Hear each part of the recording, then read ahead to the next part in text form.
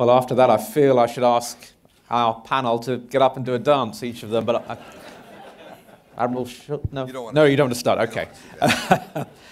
Welcome, everyone. Um, we are going to pick up on what we heard from Admiral Davidson. Um, and as he mentioned, APEC is currently going on, uh, half a world away. And as we were sleeping here, leaders were talking, and we heard two very different visions of the world. We heard President Xi give a speech in which he said, amongst other things, global growth is shadowed by protectionism and unilateralism. History has shown that confrontation, whether in the form of a Cold War, hot war, or trade war, will produce no winners. We also heard from Vice President Mike Pence, who said, We don't drown our partners in a sea of debt.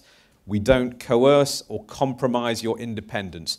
We do not offer a constricting belt or a one way road. America offering an alternative to China's Belt and Road Initiative. Well, we're going to discuss those competing visions, what they mean for us, for the region, for the countries in the region. Uh, I'm pleased to say we're joined by members of what our colleagues here at Halifax have dubbed the Quad Squad, the uh, Quadrilateral Security Dialogue, one of the forums for discussing security issues in the region, four countries represented here. Um, first of all, uh, Ken Sasae, Ambassador Ken Sasae, who's currently President and Director General of the Japan Institute of International Affairs. He was for six years until quite recently a Japanese ambassador to Washington. Next to him, Admiral Karl Schultz, who's a Commandant of the US Coast Guard. Further along, Andrew Shearer, who is Deputy Director General of the Office of National Assessments of Australia. Uh, for the uninitiated, it means he's a very senior figure in Australian intelligence. And uh, far end, Dr. Manoj Joshi, who is a distinguished fellow and of the Observer Research Foundation and an expert on national security. So, welcome all of you. Uh, at this point, I'll just say if you are attempting to get the attention of, of any world leaders who use Twitter, you might want to uh, tweet uh, at HFX Forum. Uh, that's our uh, Twitter handle here, and the hashtag is HISF2018. So, without further ado, I think we do need to start with first principles. I think most of us will agree that's a good place to start. We heard from Admiral Davidson that the idea of a free and open Indo Pacific region is, is a vision that was enunciated by, by President Trump, by Secretary of State Pompeo, uh, initially, I think, by Prime Minister Abe. I think he was the first uh, leader to, to talk in those terms. But I wonder what you all think that means. What is a free and open Indo Pacific? What does that represent for, for your countries, or what do your countries think it represents? Let's start with you, Ambassador. Well, thank you very much. Uh, before you know, talking about this, I just want to say a few words of thanks to uh, Mrs. McCain. Throughout my service in Washington, Senator McCain was uh, always a good supporter to Alliance. I very much appreciate what he did to support the Alliance throughout the years. Uh, but coming back to uh, these value things, uh, listening to uh, what uh, Admiral you know, Davidson said, the history, you know, uh, 200 years history, he said, America has maintained this value, free and open. I, I, am- I was a bit amused because in Japanese terms, it comes uh, basically after the World War II. We harbor the freedom, democracy. We had some bad histories with the United States and so forth. But throughout all these years, I think our foundation was always alliance with the United States. That came very strong and prospered based upon the value. But this value thing in the Pacific, you know, free and open value, is not necessarily counterpunching to Chinese way because we don't have to do it. We need to confirm, stand on our own values, freedom, democracy, and, and all the human rights rule of law that has been there throughout the years. So what we need to do is to invite China to be a part of this process rather than to to saying that we don't like, uh, you know, Chinese BRI, for example, because they have their own problem. And they try to introduce their own Chinese way of democracy, as, as, as this video was, was saying. And they were introducing Chinese way of doing business and, and giving loan, and uh, bad loans actually, and debt trap policy. So uh, we don't need to be really antagonizing China in that way. We could simply advise China to come on board. This is the way you should do the business. Admiral uh, Schwartz, we, we, we've, uh, Schultz, we, we've got there the, the Japanese vision that I think was enunciated by Prime Minister Abe. He said when he met President Xi recently, we've moved from competition to coexistence. Mm. But it's very clear from America's defense, security vision now that there is competition, that America sees China, together with Russia, as its competitor. So, how would you see the vision?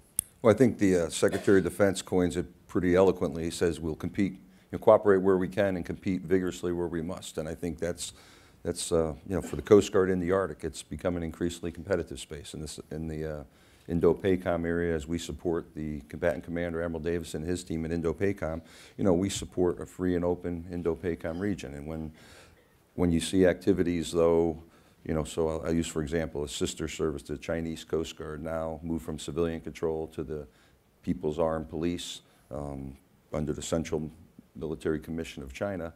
You know, the aggressive arm of the China Sea Services. You add to that the People's Armed Forces Maritime Militia, you know, what used to be traditional fishing grounds for the Philippines is, is under attack now. So how does, that, how does that change your approach? Well, I think for us, as a sort of supporting fires capability, we've been a Pacific Coast Guard for 169 years. We followed the gold rush to California, sailed around South America, out to the Hawaiian Islands. We've had enduring missions. I think the backdrop of this competitive environment has put a little more geopolitical focus on what we do. We, we work in the Oceania countries. Um, we've got agreements out there. Small countries, large exclusive economic zones, very little ca capability to patrol those. So we're all about building partner capacity, particularly their maritime security, law enforcement capabilities, and then creating cooperative regional engagements that support what we call that free and open environment, that international based rules. Does it feel, feel like a less secure region at the moment?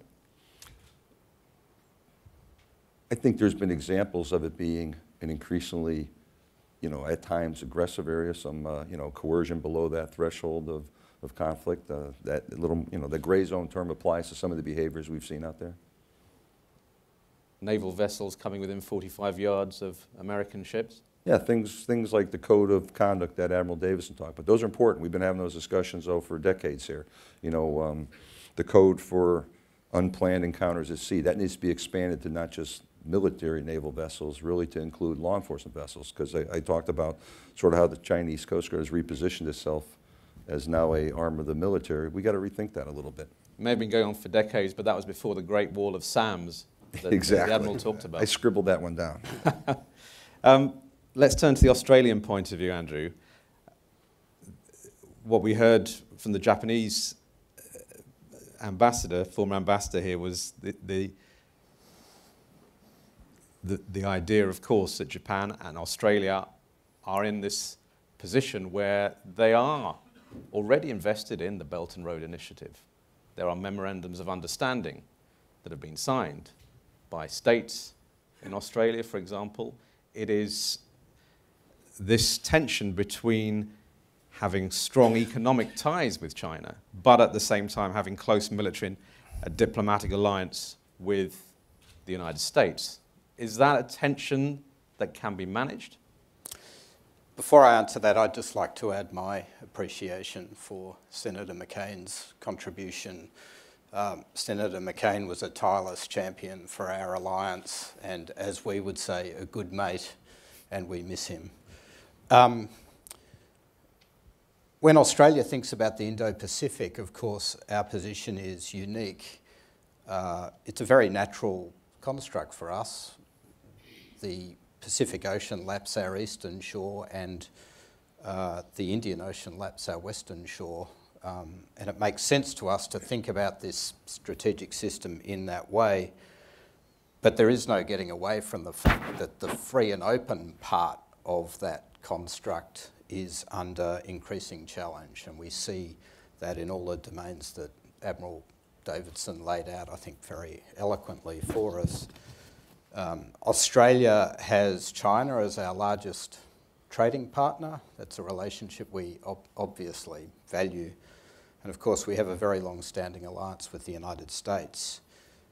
We've been a huge beneficiary of the freedom and openness of this region for a long time.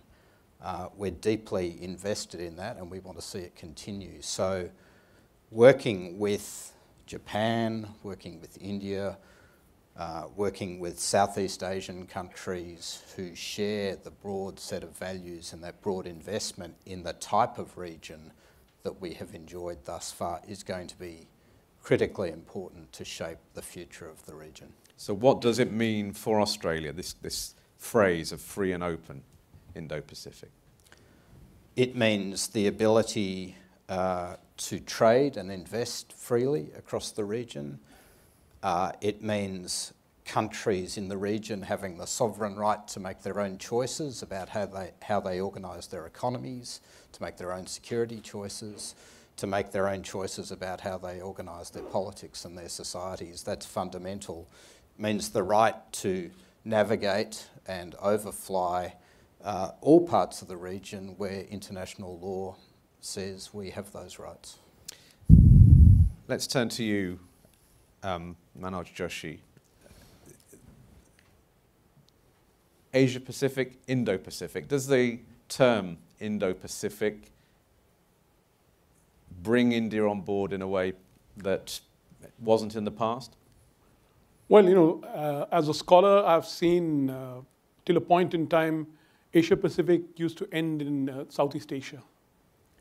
And uh,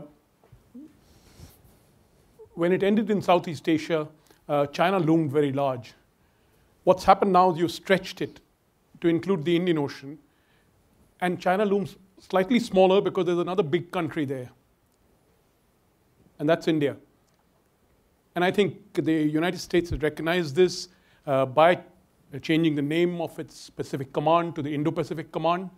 But it's still, a lot of this is work in progress in the sense your geography def defines your politics. I think Mr. Shearer has just pointed out uh, how Australia looks, you know, one shore Pacific, one shore Indian Ocean.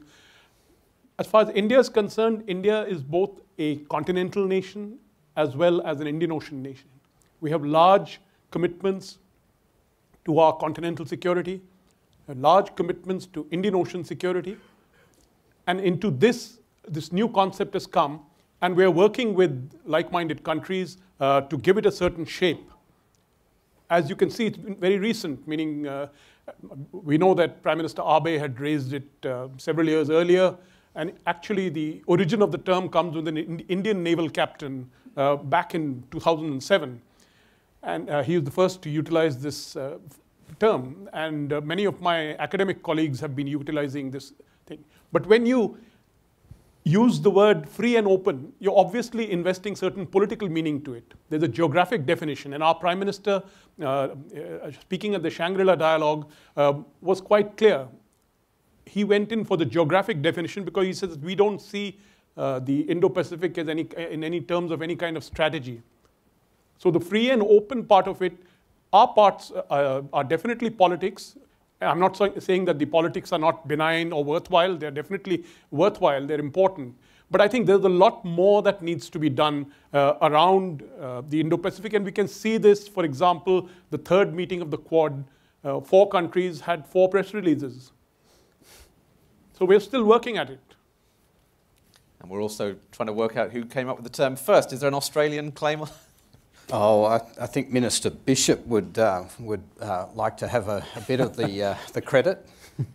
Um, we heard in in the, the remarks from President Xi, he is focusing on the current trade disagreement between the United States and China. Can you separate that from the security aspect of it? Well, uh, my view is that you cannot at the end. Uh, for the time being, I think uh, we basically support what the United States tried to do vis-a-vis China because what China is doing is basically not really in line with market principle and all this industrial policy and uh, intellectual property issues and high tariffs so forth. They cannot claim that they are developing countries anymore. They need to get, a, get rid of a special and differentiated treatment. They need to come into Club. They need to follow OECD guidelines because they are already big economy. So uh, for that reason, I think there is a, good chunk of, of the effort China need to do to be a part of this, uh, you know, regional uh, uh rules-based uh, order in terms of free and open trade. Is there any evidence that they are listening to those I arguments? I think they are listening even in, inside China. I think there is a debate now because I think uh, uh, they, they were talking about uh, the defender of free trade. People, but most of the people don't agree with that one anymore because China is doing obviously Chinese way. But if this becomes a norm a global norm, what could it do? So I think there is a pretty much opposition to this uh, Chinese model exported uh, to the region and beyond the region. So I think that is a common recognition. So uh, I hope that uh, there will be some discussion, constructive discussion taking place between Beijing and Washington uh, to address these questions. But uh, longer term, I don't think that China would abandon the idea like China 2025 because that is you know, related to their technological you know, advancement of the thought. And that is related to military technology eventually. So this is very much a long-term uh, strategic shot. So for that, there is a rivalry and competition throughout the years. Do you agree? Yeah, I, I do. I would echo, you know, Japanese Coast Guard's one of our strongest partners in the region, fantastic partners. And I think from a Coast Guard perspective, a U.S. military perspective, I think it's two sides of the same coin. I think economic prosperity and security are absolutely linked. And when you look at the second largest economy as the largest, you know, still development status without taking a role and a leadership role in the region, I think that's problematic. So I, I would echo the ambassador's words, absolutely so. And this idea of China coercing countries through the large-scale investments, the large-scale uh, initiatives. What, what, what does America have to counter that? I think we have our history. I think, the, I think we're seeing some, some turnings. You look at Sri Lanka, you look at different countries that are seeing some different experiences now where, you know, it, it looked like a partnership until, until you defaulted on loans. Now it looks like ownership of, uh, of your infrastructure, potentially of your ports. I think, I think there's an unfolding, more clear story that's, that's playing out here on the, on the world stage. So is that, so America's relying on countries, um, Sri Lanka you mentioned, Malaysia, Maldives, becoming disillusioned? Yeah, I think with the one, the, the Belt and Road Initiative. I think a little bit of that. I think you, right now with APEC, uh, we've I've got a team of 100 Coast Guard men and women over there, asked through the State Department by Papua New Guinea. You know, we, I think Admiral Davidson or maybe it was General Dunford talked about helping build out a base there with the Papua New Guineans. You know, the Chinese are keenly interested in being involved there and building infrastructure. I think we're coming in with a choice, maybe a little more aggressively than we have in previous years to say, hey, we want to be your partner in the region, and, uh, and that's, we've got to up our game there a little bit. I think that's some of that's going on. So it's, it's being aware of sort of what's unfolding around you. It was interesting yesterday listening to the, one of the panelists, the gentleman from Nigeria, and his perspective, though, about. The Western loans and, uh, and what they see as China as a choice. So I think it's, it's, it's kind of unfolding around us here. Well, he, he was very much saying, yeah, bottom line is money talks, doesn't it? And I think that's what I heard. We chatted a little bit in the margins, but it's, I guess where you sit's where you stand as you look at that, as you look at that problem set. Do, do you think, and, Andrew Shearer, that then there needs to be a definition of what free and open Indo-Pacific means? Does there need to be some kind of document, something that, that binds countries, like-minded countries together? I think we all need to uh, do some work to flesh out the concept. I think um, there are some anxieties in Southeast Asia, for example, about it. Not, not everywhere in Southeast Asia. Indonesia and Thailand are developing their own Indo-Pacific strategies, and I think that's very positive. I don't think we should try and straitjacket everyone into one uh, very um, structured uh, definition, but I do think that we have more work to do to reassure Southeast Asia, for example, that we see ASEAN as, as central uh, in the region, that this isn't about bypassing ASEAN, it's not about, um, it's not about splitting the Indo-Pacific, it's about bringing it together in an open, inclusive way. So I do think we've got work to do, uh, but I don't think we need to be overly prescriptive either. But is, is there a danger in, by their nature, democracies which are free and open and have different perspectives find it hard to compete against a country like China, which knows what it wants, is happy to rip up the rule books, is happy to build military installations despite promising not to?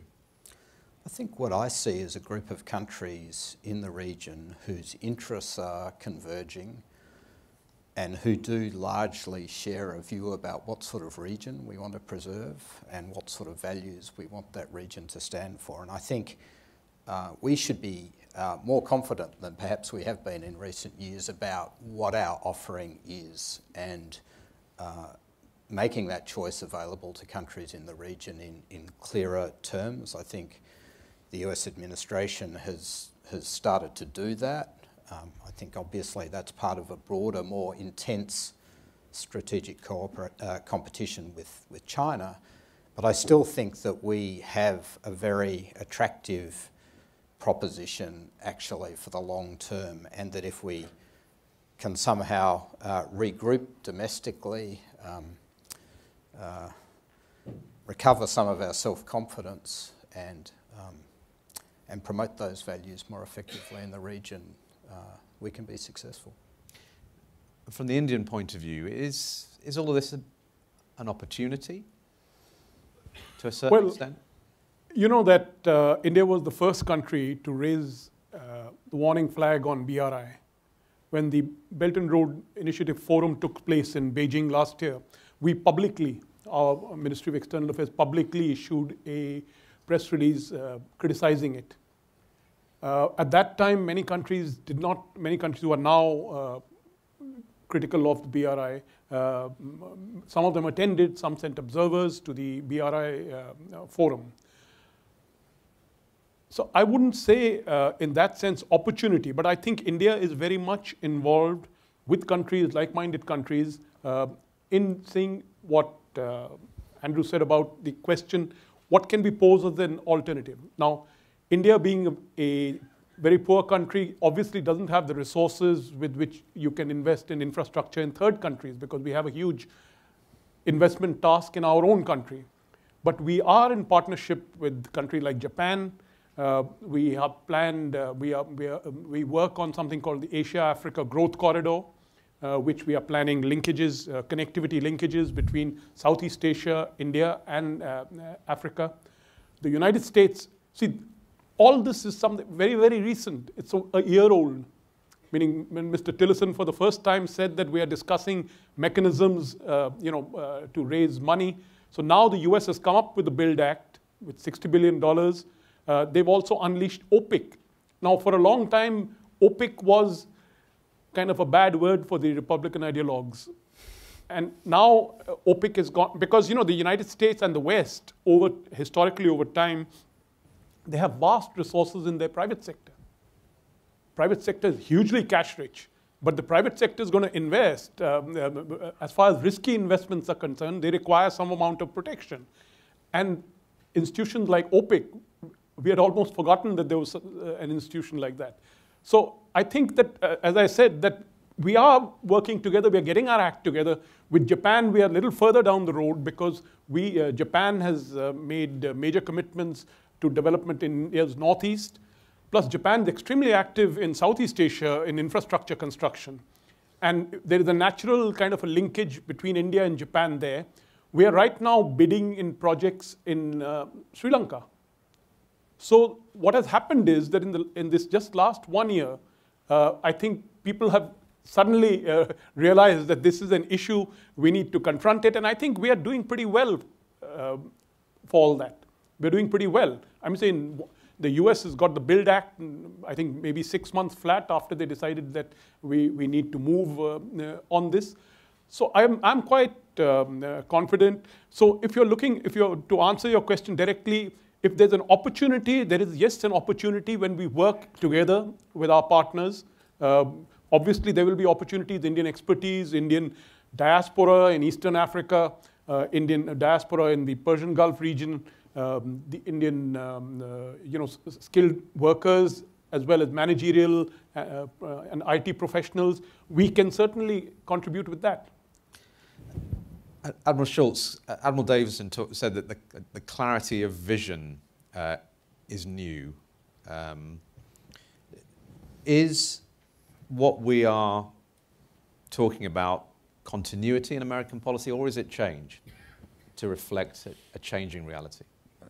It's probably both. I think we heard the history through Admiral Davidson's, you know, very interesting walk there. I think it's recently reported in open press we just had two carrier strike groups over there showing, I think, a new refound commitment. We've transferred seven um, excess defense article 300 high, 378 foot high endurance cutters to the region, three to the Philippine Navy, um, one to the Vietnamese, two to Bangladesh, one to Sri Lanka that hasn't left Hawaii yet. But I think there's a, a commitment of, of capacity. We will transfer those ships. We'll help train those people to operate those ships. I think there's a new refound commitment, which I would say it's probably more the latter than it's just kind of a doubling down of, of the importance, the urgency, and signaling to our ASEAN partners. You know, you look at the, what is it, four of the 10 ASEAN partners, you know, have conflicting claims, maritime claims down there. And uh, I think free and open Indo-Pacific is not just for the large countries, it's for all the countries. And, and that's where I think we're, you know, we're dispensing a little bit of Coast Guard reach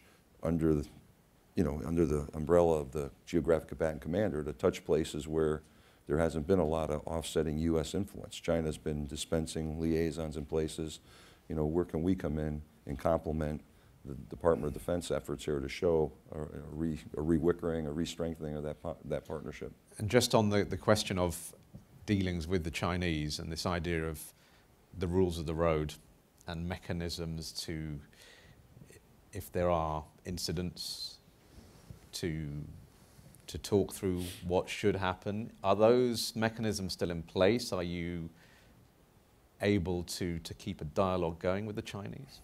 Well, I think we're all about the peaceful, you know, resolution of, of interactions. Um, I don't have a lot of the specifics on the recent Navy interaction at, you know, reportedly 45 yards. That's concerning as a, as a Coast Guard ship driver for much of my career. That puts, you know, puts sailors in jeopardy and lives in jeopardy. That's not a good situation. It, it, it reemphasize, I think, the importance of, of a code of conduct, but that gets trapped up, and I think Admiral Davidson articulated sort of what the expectations were from a China perspective about that code of conduct, that veto power. We so clearly can't support that. So I think it'll remain tense in the area. You hope seeing our allies operate and stepping up on some of the freedom of navigation type operations. I think that strengthens the, the global resolve to signal that that type of behavior is not accepted on the international stage. Cam, we talked about, about trade and how it fits in. Obviously, Japan has is taking the lead now on regional trade, if you like, on mm. TPP or the, the, the, the, sort of rump TPP, I suppose you might say, but without America. Um, how does America's withdrawal from, from that particular agreement and perhaps more broadly the, the America First ethos that underpins the defense and security strategy undercut its ability to keep strong alliances? Well, for that, I, uh, I, I think that the, all these uh, collaborations on the uh, security side is not really much affected by all this. Uh, uh, I would say if there is any on the approach uh, to the trade even on the approach to trade, uh, we understand the uh, political reality of these countries. So we have to live with that in a way. Uh, but on, on, the other hand, you know, uh, depending on how all these, uh, you know, talks with, with Chinese would come out, there is always some merit we could cherish together if China would continue to respond in a positive way and change it. And uh, you know, if we, we, try to get China into uh, TPP, it's not easy. I mean, to get China on board, whether it is intellectual property, commerce, well, uh, you know, the rules on service and investment all the way. But when you go directly bilateral frame, and I think uh, that might uh, be able to produce something. at the end, that could be multinationalized. That'd be great. But uh, at the same time, we continue to commit the regional free trade. So uh, we so just, do, uh, just, just to we, pick up on what you said, do you, you foresee a TPP without America but with China? Uh, well, we prefer America to be an integral part of TPP, of course. I mean, we are not re really abandoning that, that ambition. But at the same time, we know the political reality, the policy of this, uh, you know, uh, Trump administration.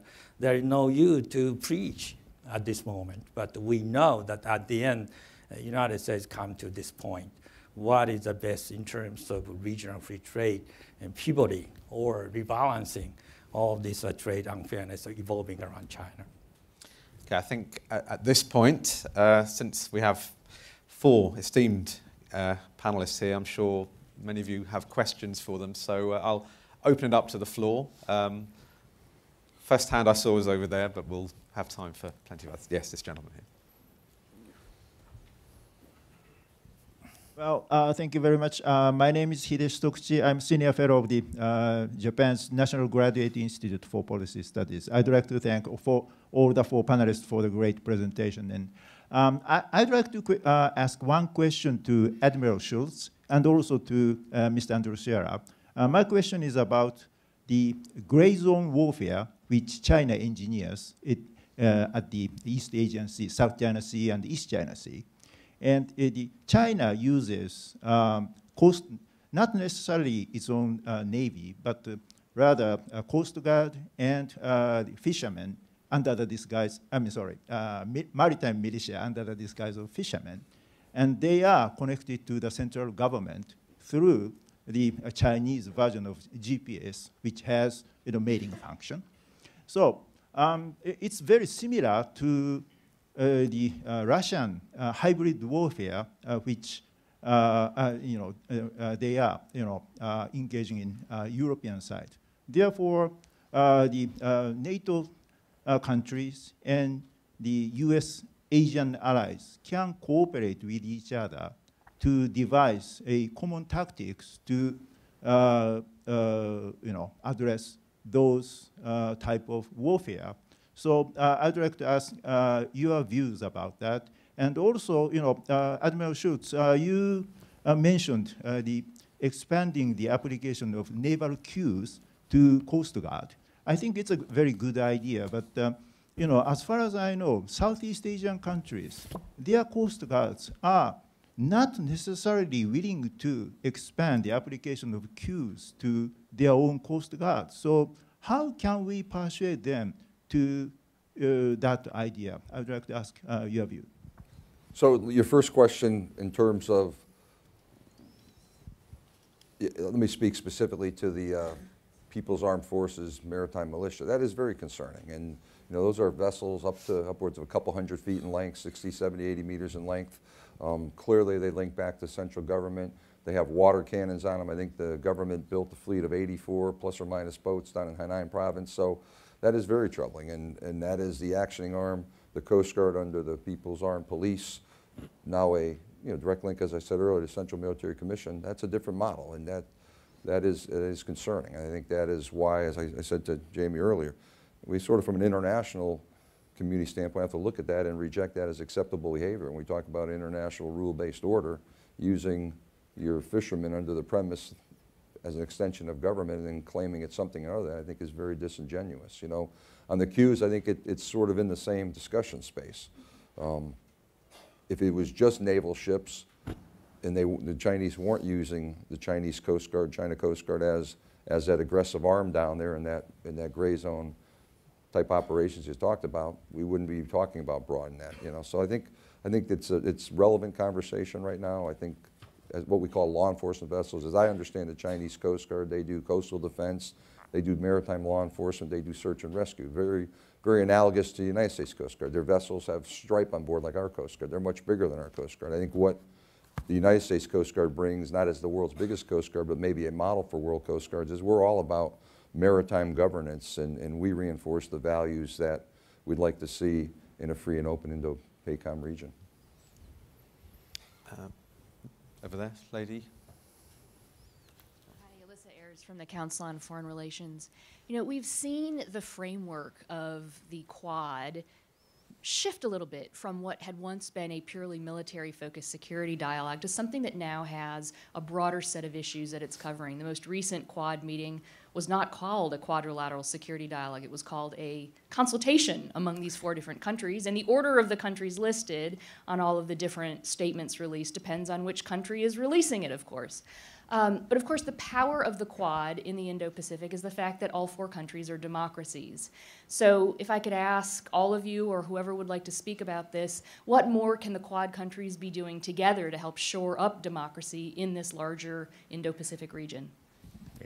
To answer? Okay, I, I think you, you uh, asked a very right question. I think this concept of Quad is evolving over some time it started uh, trilateral also Japan, US, Australia, or Japan, US, India, Japan, Australia, India, whatever. But uh, uh, somehow there was hesitation on the part of India and India sometime because that's too much offensive to China at the time.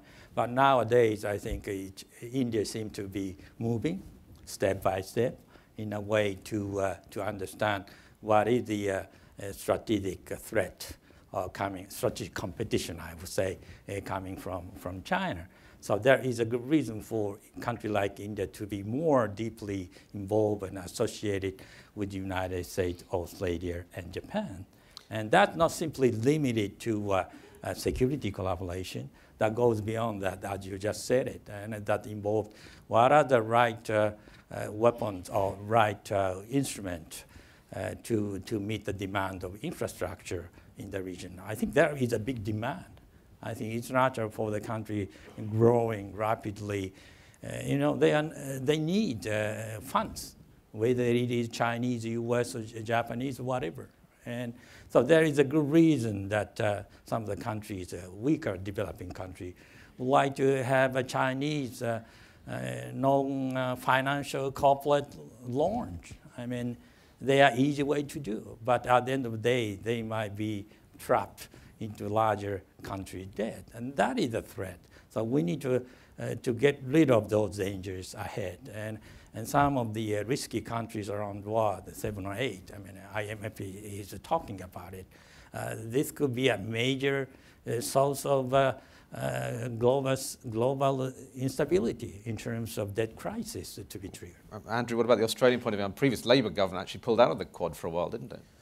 Yeah, that's right. Um, I mean, I think the Quad, the Quad's time has come though, and I think it's now a more stable entity. I think the challenge is to be a bit more precise about what it is and what it isn't. I think we we didn't get that messaging quite right at the start, and so um, reassuring the region that the Quad is just one of a number of useful mechanisms to contribute to this greater objective of a free and open Indo-Pacific, I think is important. My own view is that the Quad should um, pursue um, sort of pragmatic, uh, functional areas of cooperation.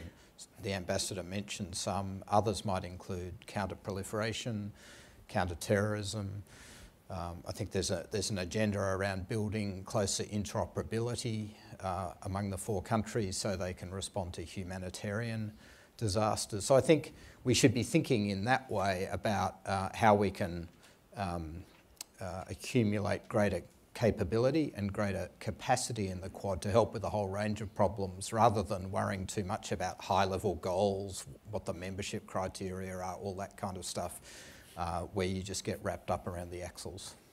It's actually born out of a humanitarian the, response, wasn't yeah, it? Yeah, the 2004 Boxing Day tsunami. Mm. Okay, thanks. Can I make a point course, on please. that? Uh, you know, uh, I think Ambassador made a reference to India. Uh, you see, India's perspective with the Quad has to do with where India is located. For countries like Japan, Australia, obviously the Pacific Ocean is an extremely important, or what's happening in, the, uh, in Southeast Asia is very important. Where we are look, our principal center of gravity from our, sec our security concerns is in the Northern Arabian Sea and the Persian Gulf.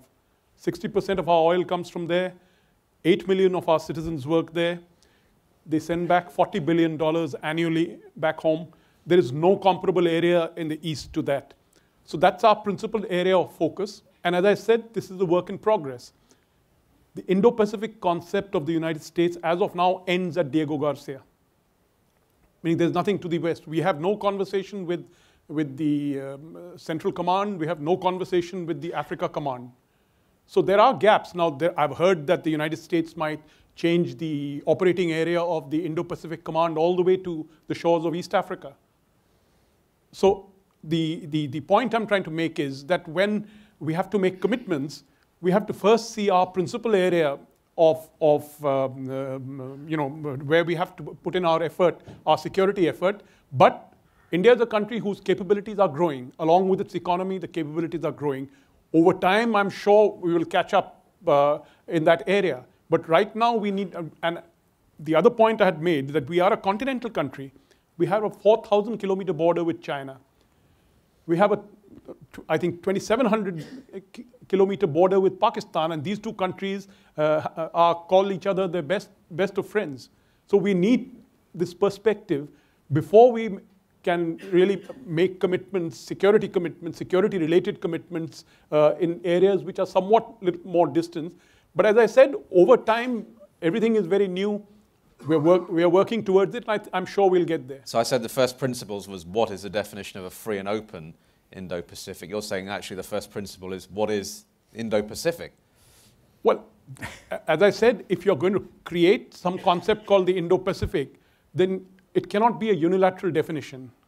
Meaning you can't say that, as far as I'm concerned, the Indo-Pacific ends at Diego Garcia. It doesn't. Because if it's Indo, it must take in all of the Indian Ocean.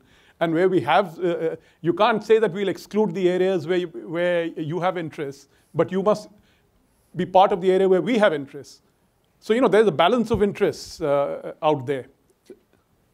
Admiral Schultz, I wonder whether America would think of extending that definition of Indo-Pacific to take in the Persian Gulf, and that takes in one very well, I would uh, tell you, important. As, as, a member of the Fifth Armed question. Service, not in the Department of Defense, I'm probably going to stay out of that. I thought you might do. I thought you. I don't think that's my, my sea lane of communication. No, I, I, yeah. I, I, must say that we have we have now uh, uh, posted a liaison officer to the Fifth Fleet uh, headquarters. So that's a beginning. But I think the Americans are now understanding that this is this uh, this is an issue uh, that if there are four members of the Quad obviously where they are geographically located, that gives them their security perspective.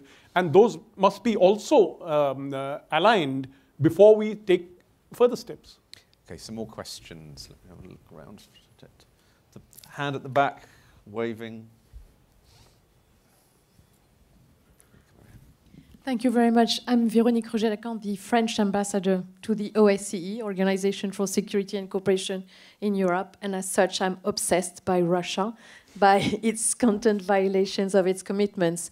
I would be interested in the views of the panel on the Abe-Putin discussions for the timing. Thank you. Okay, uh, I think the, there had been a lot of uh, meeting going on uh, between the President uh, Putin and Prime Minister Abe. You know that there is a big uh, agenda uh, we have been addressing over 70 years uh, after the end of the war. This is a peace treaty. And uh, our position is that without uh, getting resolved of long-standing trade, sorry, uh, territorial dispute around the Northern Territory, it's really hard. And so I think they have been now uh, trying to work on the way forward. And Russian position is that, you know, they can't really uh, you know, recognize all these four islands back to Japan. And uh, our position is we need to get those four islands back to Japan. These before. are the northern territories, northern, the Russian calls yeah, them the Kuril right, Islands. Right, right. and this had, there had been dispute for ma many years. unless there is a settlement on this issue, there is no real uh, peace coming back between, uh, between Japan and the United States. So uh, they have been discussing for some years, and they continue to discuss. And I hope that uh, there will be some progress on that front. It doesn't mean that uh, we would be on the same board with uh, European and American friends and allies when it comes to some critical issues like uh, Ukraine issues, for example. And uh, we are together uh, going for the sanctions with our friends and allies. So we, we distinguish what we need to do to conclude uh, the long-standing, you know, problem with Russia and while addressing the current issues of security agenda with, with, with, with Russia. Okay. Let's get any more hands up over there.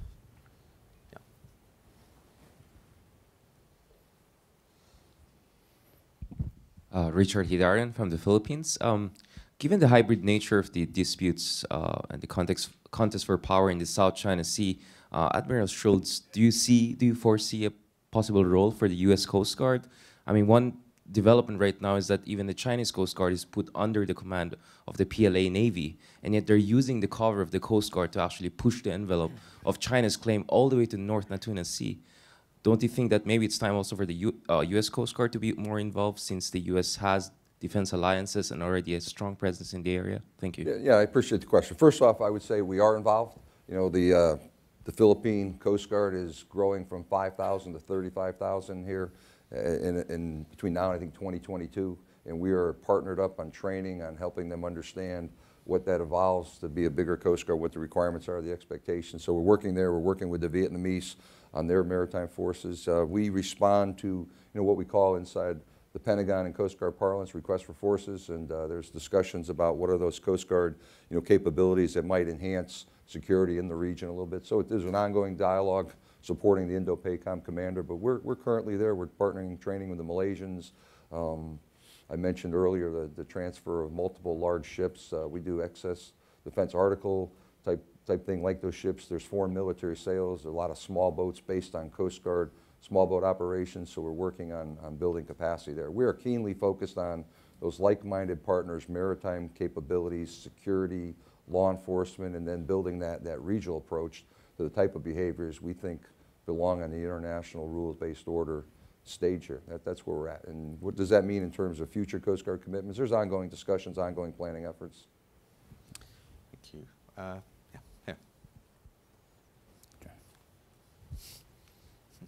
Um, Atake Kamiya, uh, Professor of International Relations at National Defense Academy of Japan. I would like to clarify uh, Japan's position, Japan's attitude toward China uh, in regard to a free and open Indo-Pacific strategy uh, based upon my own observation because uh, Prime Minister Abe's uh, recent policy toward China has made some kind of uh, worry, worrying uh, concern among the uh, other democracies in the world. obviously, Abe wants to improve Japan's relationship with China because Japan is geographically very close to China, and Japan cannot afford bad relations with China.